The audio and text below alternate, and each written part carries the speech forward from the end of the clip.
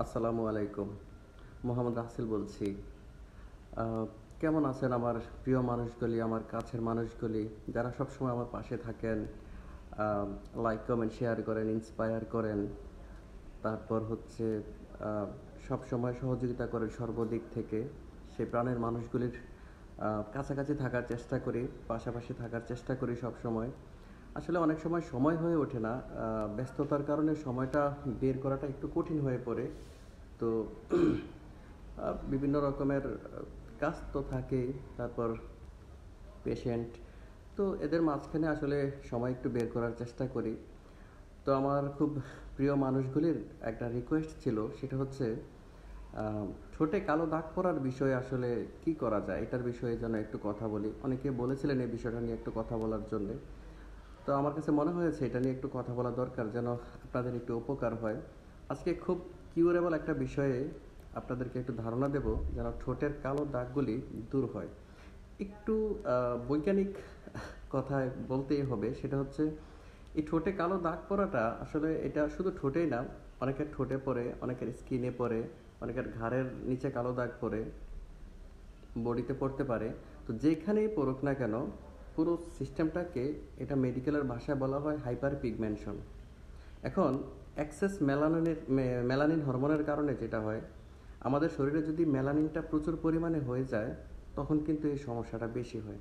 এটা একটা natural system তো এখন আপনার ঠোঁটে যদি কালো দাগ হয়, আপনি স্বাভাবিকভাবে হয়তো এটা ন্যাচারাল ধরে নেবেন। এটা ঠিক আছে বাট একটা মেকানিজম তো আছে।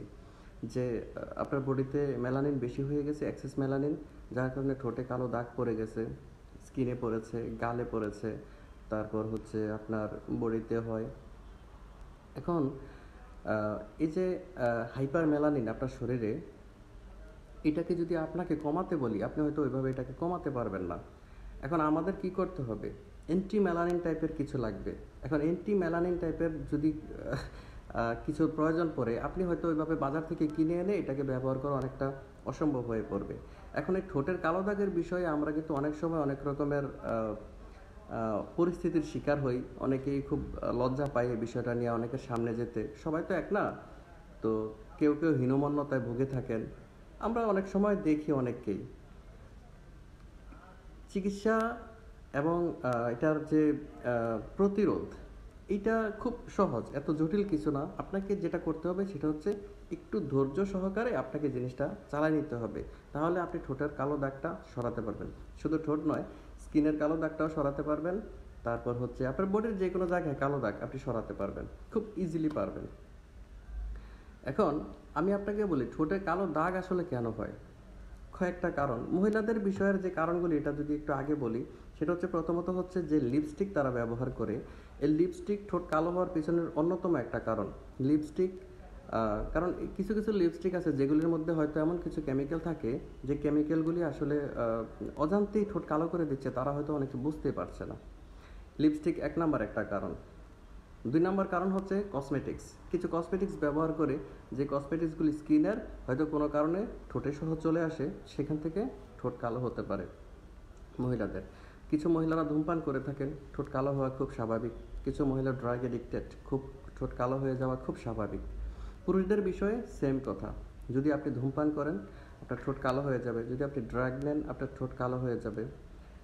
এর বাইরে আরও কিছু জিনিস যেটা রোগের কারণে হয়। নাম্বার ওয়ান হচ্ছে কেমোথেরাপি যারা কেমোথেরাপি নেয়, তাদের শুধু ঠোঁটই না, পুরো বডি কালো হয়ে যেতে পারে। কেমোথেরাপি নিলে ঠোঁট কালো হয়ে যাবে। নাম্বার ওয়ান হচ্ছে এনিমিয়া মানে ব্লাড ডেফিসিয়েন্সি যদি আপনার বডিতে থাকে, আপনার ঠোঁট কালো হয়ে যাবে। যদি আপনার এনিমিয়া মানে ব্লাড ডেফিসিয়েন্সি থাকে, আপনার ঠোঁট কালো হয়ে যেতে পারে। অতিরিক্ত ফ্লোরাইড কিছু প্যাপসোডেন্ট আছে, যে প্যাপসোডেন্টগুলিতে অতিরিক্ত ফ্লোরাইড থাকে, এই ফ্লোরাইড আপনার ঠোঁট কালো করে দিতে পারে। সবাইয়ের উদ্দেশ্যে একটা কথা বলি, সবাই চেষ্টা করবেন ন্যাচারাল যে পেস্টগুলি আছে বাজারে ন্যাচারাল পেস্টগুলি ব্যবহার করার চেষ্টা করবেন। কেমিক্যাল থেকে যতটুকু সম্ভব একটু দূরে থাকবেন। তারপরে আসেন হচ্ছে উত্তপ্ত চা বা কফি খাওয়া। অনেকের অভ্যাস আছে, উত্তপ্ত চা বা কফি খায়। খুব গরম খুব গরম খেতে অভ্যস্ত তারা। এটা যদি হয়, তাহলে আপনার ঠোঁট কালো হয়ে যেতে পারে। আরও কিছু বিষয় আছে যে জিনিসগুলি আপনাকে যেমন রোদ, অতিরিক্ত রোদে যারা কাজ করে, তাদের ঠোঁট কালো হতে পারে। আপনি যদি প্রোটেকশন ছাড়া রোদ্রে যান, তাহলে আপনার ঠোঁট কালো হতে পারে। তারপর আপনার শরীরে যদি ভিটামিন ডেফিসিয়েন্সি থাকে ভিটামিন বি ডেফিসিয়েন্সি থাকে, তাহলেও আপনার ঠোঁট কালো হয়ে যেতে পারে। এখন, এই যে এত কিছু, এই সবগুলি কিন্তু ন্যাচারাল ন্যাচারাল বলতে আপনি দৈনন্দিন চলাফেরা করলে এই বিষয়গুলি আপনাকে আসলে এড়িয়ে যেতে পারবেন না, এগুলি থেকেই যায়। আপনাকে রোদ্রে যেতেই হয়। তারপর মেয়েদের যে কসমেটিক্স বিভিন্ন রকমের লিপস্টিক বা বিভিন্ন রকমের কসমেটিক্স আছে, এগুলি তো ব্যবহার করতেই হয়। তারপর যারা ধূমপান করে, তাদেরকে যদি এই মুহূর্তে বলি, ধূমপানটা ছেড়ে দিতে ওরা ছাড়বে না। বললে ওরা ছাড়বে না। তারপরেও এটা আমাদের সব সময় রিকোয়েস্ট থাকে যেন সবাই ধূমপান ছেড়ে দেয়। এটা সর্বদিক থেকেই খারাপ।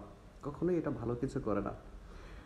এখন এই কালো দাগ দূর করার পেছনে দুইটা ওয়ে একটা হচ্ছে ন্যাচারাল আর একটা হচ্ছে মেডিকেশন আপনি যদি ন্যাচারাল ওয়েতে যান, আমার মনে হয় ফার্স্টে একবার ন্যাচারাল ওয়েতে ট্রাই করেন।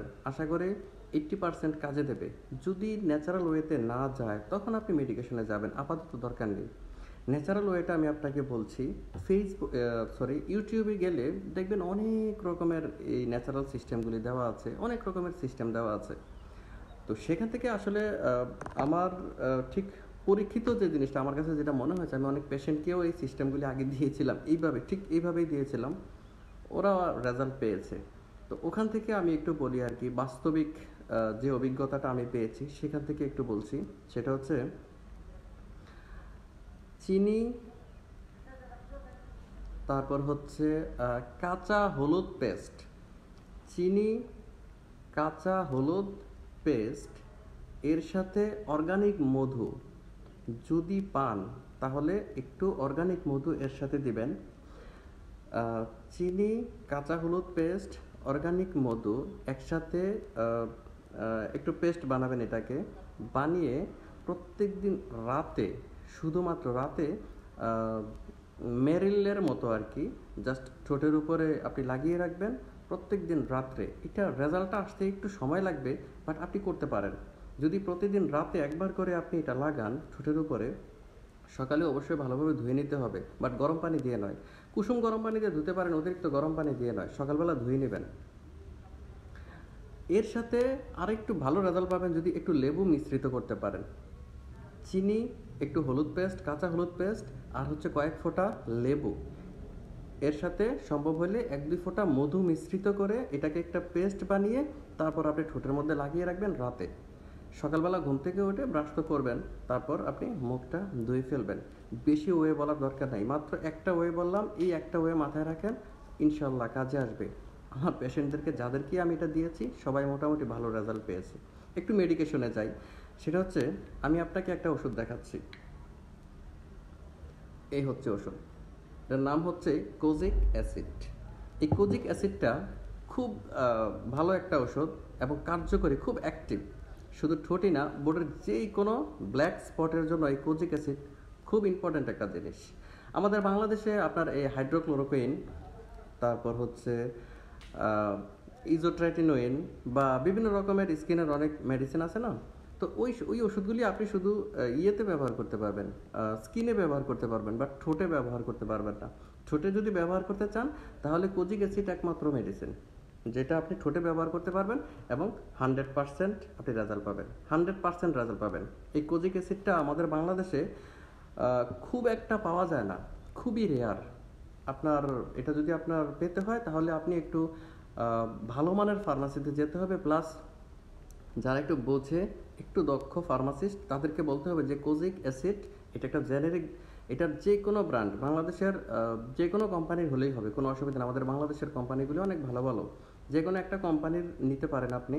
কোজিক অ্যাসিড আমি নামটা লিখে দিব। এটা একটু সার্চ করে দেখবেন। বাংলাদেশের যে কোনো একটা ভালো কিছু ফার্মেসি আছে, ওখানে গিয়ে বা ভালো কিছু ফার্মাসিস্টদের কাছে গিয়ে এটা বলে আপনি ওখান থেকে এটা কালেকশন করবেন। করে আপনি এটা ঠোঁটে ব্যবহার করবেন। যদি ওটা ব্যবহার করেন, তাহলে আপনি হান্ড্রেড পার্সেন্ট রেজাল্ট পাবেন। কোনো সন্দেহ নাই। এবং কোজিক অ্যাসিডের কোনো সাইড ইফেক্ট নেই। এখন প্রশ্ন হচ্ছে এই কোজিক অ্যাসিড ব্যবহার করলে কালো দাগটা চলে যাবে, এটা ঠিক আছে, কিন্তু আসবে কতদিন পরে? আসলে যদি কালো দাগ চলে যায়, এটা আসতে অনেক সময় লাগে। যেহেতু একটা হরমোনাল ব্যাপার, আমাদের সেল যখন মিউটেশন হয়ে যাবে সেল যখন ঝরে যাবে, তখন আবার অনেক দিন পর কালো দাগটা ফিরে আসতে পারে। তবে খুব রেয়ার বেশিরভাগ সময়ই কিন্তু আসতে অনেক সময় লাগে। যদি এরকম হয়, তাহলে আপনি ব্যবহার করতে পারেন কোজিক অ্যাসিড ইনশাল্লাহ ভালো রেজাল্ট পাবেন। আরেকটা বড় সমস্যা হচ্ছে মেস্তা। এই মেস্তার বিষয়ে অনেকে অনেক রকমের প্রশ্ন করেছে। এটার বিষয়ে আমি আসলে সময়ের জন্য ইয়ে করতে পারিনি। তবে নেক্সট ভিডিওটা আমি করব ইনশাল্লাহ মেস্তার উপরে। খুব অ্যাক্টিভ একটা মেডিসিনের কথা আপনাদেরকে বলব এবং রেজাল্ট পাবেন ইনশাল্লাহ ততক্ষণ পর্যন্ত সবাই ভালো থাকেন, সুস্থ থাকেন, আমার জন্য দোয়া করবেন। দেখা হবে নেক্সট ভিডিওতে আল্লাহ হাফেজ।